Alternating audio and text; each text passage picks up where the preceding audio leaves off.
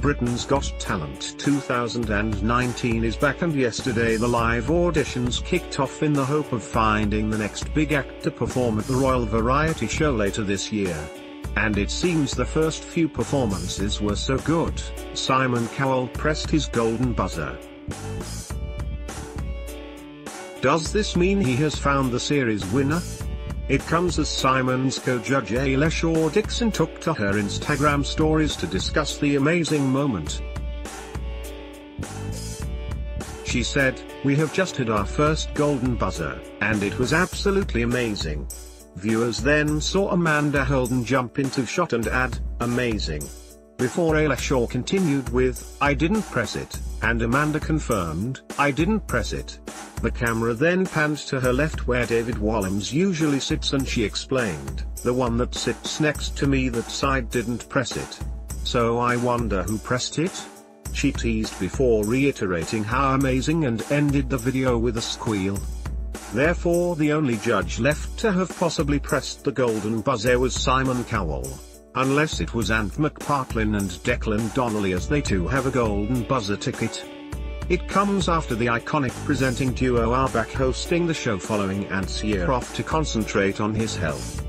Ant appeared alongside December and the four judges for an official photo yesterday which marked the new series starting as well as that, December addressed the Ants yesterday and announced his co-star's highly anticipated comeback. He said, we've got the judges back, the golden buzzer is back, and someone else is back. My co-host for the series, would you please welcome Mr. Ant McPartlin. And then walked onto stage and was greeted by a standing ovation before embracing his presenting partner. He told the Ants, hello everyone. Oh god, I'm really really emotional now, I've missed you all. WHO won Britain's Got Talent last year, View this post on Instagram now we are back together at BGT. A post shared by Alesha Dixon, at Aylash Official, on Jan 18, 2019 at 12.27 pm PST hash BGT 2019. Audition day 1. The boys are back in town. pic.twitter.com web link and at Antandk. January 18, 2019 we have just had our first golden buzzer, and it was absolutely amazing. Alesha on her Instagram stories. He then pointed at December, saying, I've missed you.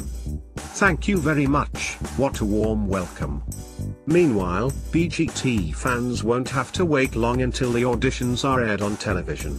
Whilst no official start date has been confirmed by ITV, it is most likely to be Saturday, April 13th, based on previous years.